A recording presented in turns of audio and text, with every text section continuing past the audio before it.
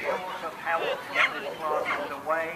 Wonder whether someone spares Shrewsbury member could please go to ring two to help there. Thank you.